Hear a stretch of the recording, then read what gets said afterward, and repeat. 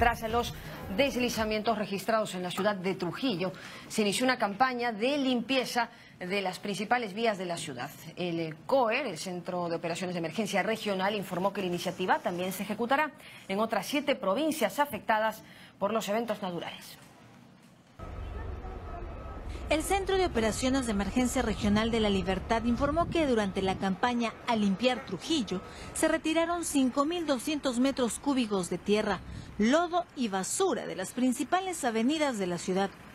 Como se recuerda, Trujillo quedó inundada tras los siete huaicos que cayeron a consecuencia del desborde de la quebrada San Ildefonso, que afectó a los distritos de El Porvenir, Trujillo y Víctor Larco, dejando a cientos de damnificados.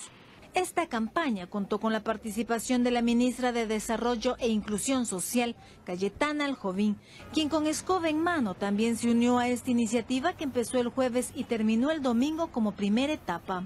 El COER informó que la campaña de limpieza continuará en los próximos días y se trasladará a las otras siete provincias afectadas por los desastres naturales.